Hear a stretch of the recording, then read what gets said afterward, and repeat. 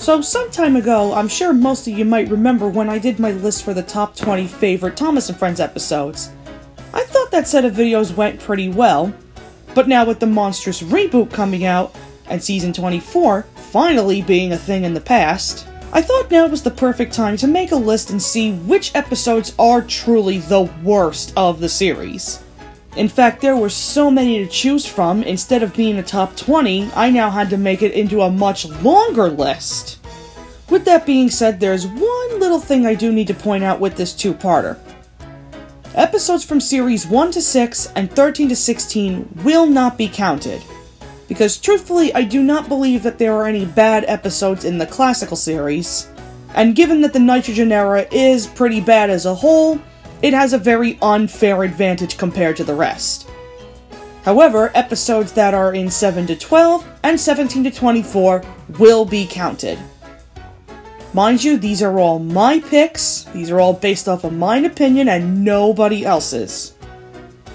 I hope you guys are ready for some random anger as we go over my top 30 worst Thomas and Friends episodes.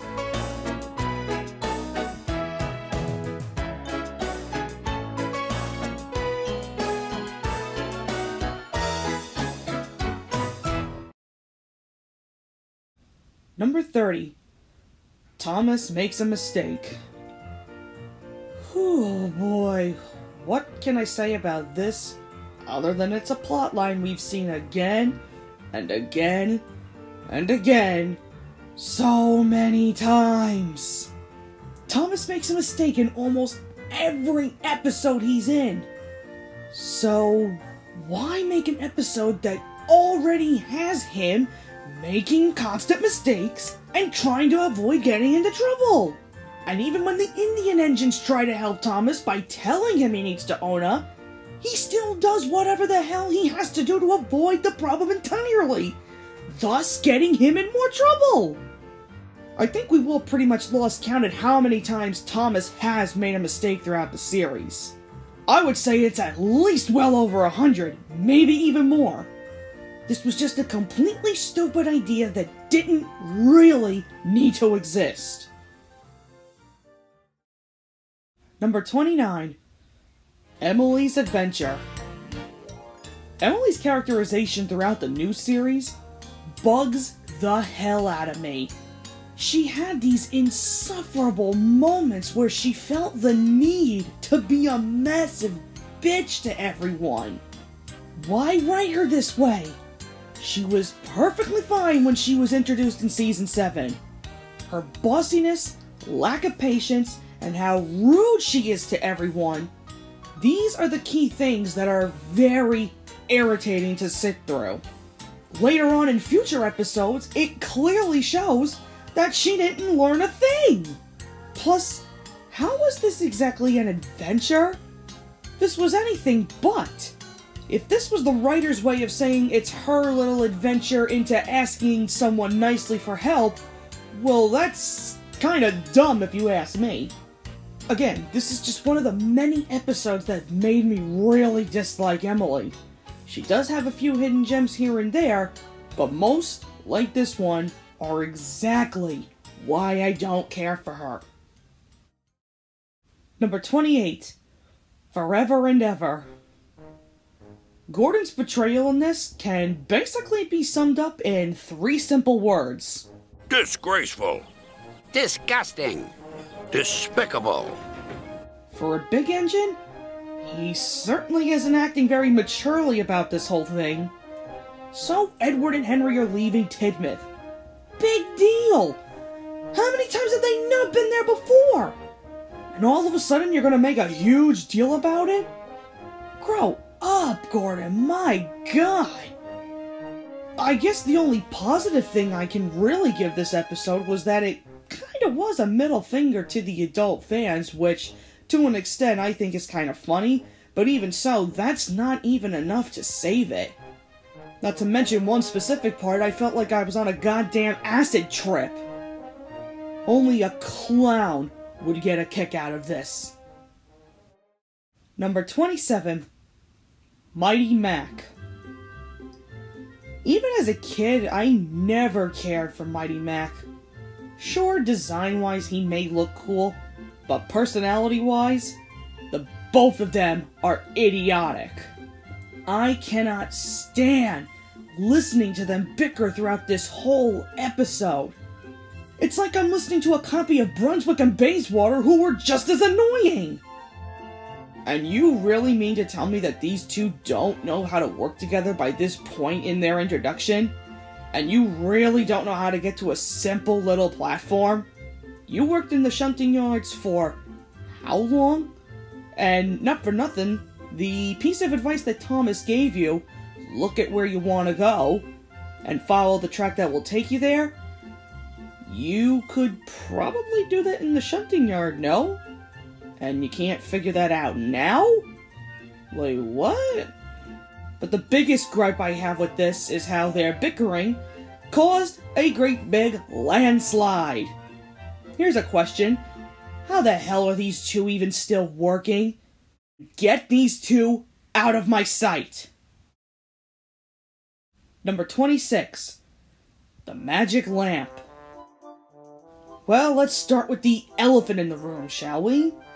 There was absolutely no point bringing in Proteus. He is one of the most pointless characters to ever exist. The other thing is, this doesn't exactly feel like a Peter Sam story. The way he behaves all throughout this episode doesn't really make all that much sense.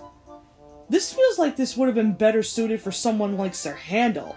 His season 4 personality would have fit a story like this so much better. And once again, we're back to a three strike deal, which. Ooh, how many times have we seen that plot line already? Not for nothing, but how many times has that incline of theirs broke? Sounds like a piece of crap if you ask me. Just like this complete nonsense of an episode. Number 25 Thomas's Not So Lucky Day. By far, the stupidest episode from season 24. I don't think I've seen anything more ridiculous than this. Did you really feel the need to shoehorn this Friday the 13th bullshit into the series? We already have two lucky episodes. One of them is good, one of them is terrible. Why do we need a third that's twice as bad? Half the shit Thomas even does in this is just stupid! And for the love of God, stop listening to Lorenzo! He's not an expert on this shit! At the end of the day, I don't think Thomas is the one with the bad luck. I think we all are when we were cursed with this horrible episode. Number 24 Mountain Marvel. Why are you bringing up Proteus again? He doesn't exist! And even if he did, what can he do that was so special that they just had to make him a freaking statue? To me, Peter Sam does act a bit selfishly, wanting to keep all the glory to himself. You would never see him act this way. Not for nothing, but he has his own delivery to make, and he's too worried about the damn statue. The biggest gripe I have is towards the end, when he tries to pull the churns and the statue. The load just all of a sudden became heavy. You know, he could have done his job and then went back to go and get the damn statue. And then all of a sudden the hill mysteriously got steep, and then he backed into a random set of buffers that just so happened to appear after all this time. No, mm-mm, no. Let's just drop the whole Proteus nonsense, please. We all know he doesn't exist, right? Right? Number 23 Grudge Match. Ever since the Great Race, Raul didn't look like a very interesting character to begin with. But when this episode came out, I now despise him. This entire time, he's held a grudge against Thomas for beating him in the Great Race, and he's now this desperate to beat him at something? Are you kidding me? I don't even know why Thomas agreed to do all those dumb things with Raul in the first place! I will say, towards the end when Raul snaps his chain and dangles off the rails, I really wouldn't have cared if he fell if I'm being completely honest.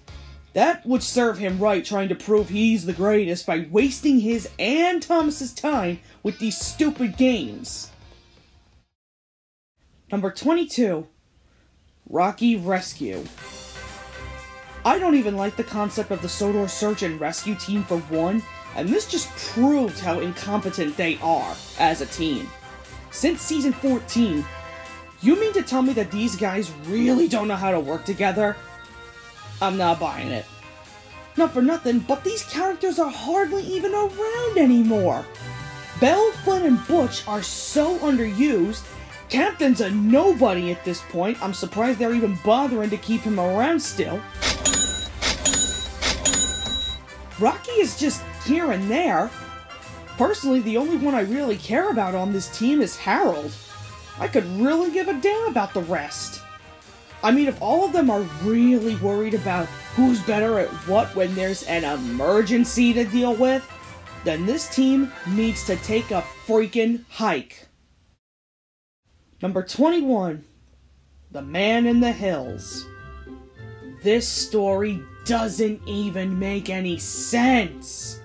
How did this man in the hills all of a sudden become such a huge deal to the narrow gauge engines? All it really is is just a silhouette in the rocks. Lame! And what even are these special gifts you're going to give to Mr. Percival? Decorations, flowers, balloons, and banners? These are not real presents! But the one thing that I absolutely hate about this is how the engines knew they had all this work to do, and yet they foolishly stayed waiting for Thomas to basically outdo them in giving Mr. Percival the best present.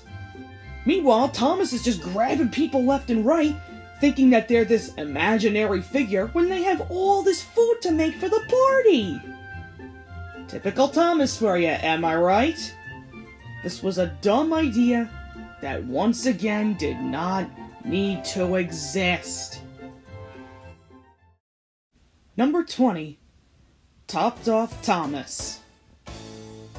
Why is this even a thing? Racing and talking to the wind? I think you're ready for the loony shed there, Thomas. The wind doesn't have magical ears where it can actually hear you. Along with the race with Spencer, did the both of them not realize how dangerous that is?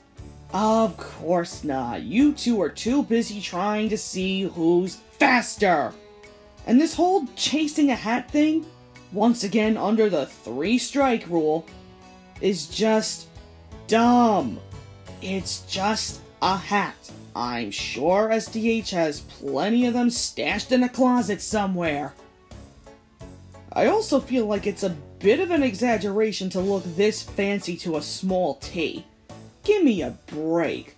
Either go and get a new hat, or don't go at all. Simple. Number 19. Push me, pull you. Skarloey has definitely had his fair share of bad episodes, but this one completely tops them all. What we have here is yet another character trying to keep all the fun to themselves, plus it's also a case of trying to prove who's stronger for a small portion. This bickering between Skarloey and Rheneas was not needed, and neither was this bullshit tug-of-war game. Especially if Rheneas just ends up helping Skarloey later on in the episode. But my biggest problems with this are as follows. First, I'm not buying that the Puppet Show special was a heavy load. Nothing on those trucks looks even remotely close to being heavy, so Skarloey could have easily stopped. Second, how did Skarloey suddenly lose control again when he met up with Rusty? And what the hell is Rusty's logic when he hears Skarloey calling? He stops in the middle of the damn tracks! And don't you just love how the points were conveniently set towards the pond? The writing and characterization for this episode was garbage. I would say this is probably the worst of season 12. Number 18 Thomas and the Billboard. For Thomas to go through all of this trouble just to keep Diesel from the new photo is completely stupid on his part. And all because he thought it was done on purpose. What he should have done when he saw the first billboard, he could have, oh, I don't know, asked to take a new one and explain what happened? The loads that were even given out a clown, a brass band, and decorations? Why do you have to go all out for something that's not even that exciting? It's just a freaking billboard. Not for nothing, but why the hell is Diesel even here? I thought there was this big vendetta between the Diesels and Steamies. What, did that concept just get tossed out the window all of a sudden? If there was one word to describe this episode, it would definitely be awful. Number 17 Emily's best friend. Ugh, I can't even with this one. Looking for a best friend is apparently more important than doing your own work. That's logical. If anything, this episode reminds me of the Theodore Tugboat episode Best Friends, just altered a lot. Compared to Emily's best friend, the Theodore version is a thousand times better. How Emily went about this whole thing was completely unnecessary. Why did she feel the need to have a best friend while doing her work? She never did before. Besides, all of the engines are friends, so. I can buy the whole best friend thing with Thomas and Percy, but Gordon and Rebecca, James and Nia, these guys are all of a sudden best friends? No, uh uh-uh. uh, no, no, no, no, no, no, I'm not buying it! And I don't know about the rest of you, but that fantasy sequence was probably one of the weirdest ones ever. I mean, really. Selfies, throwing snowballs, and kitty rides? Did they really just go down that path? Unbelievable. Number 16 Ding a Ling. I liked Freddie when he first appeared in Fearless Freddie, although I'm still very unsure how he even got that name in the first place. But when this episode came along, my liking for him diminished drastically. Supposedly, Freddie is the oldest and wisest of the narrow gauge engines. Okay, well, if that's true, then you mean to say that he doesn't know what the hell a bicycle bell is, or even where to find one? Then he obviously isn't that wise according to the irritating three strike rule. And you're really that afraid to ask for help just because James told you off? I think Freddie's pride is what killed him here. Plus, in terms of voice, how did you go from this deep and gruff voice to this weirdly southern sounding voice. Fearless Freddie is back. Of course, I know where to find a bicycle bell. Exactly was the point of that? If you're gonna give these characters distinct voices, just stick with what you have. Bottom line, all I have to say about this episode is, once again, another dumb one.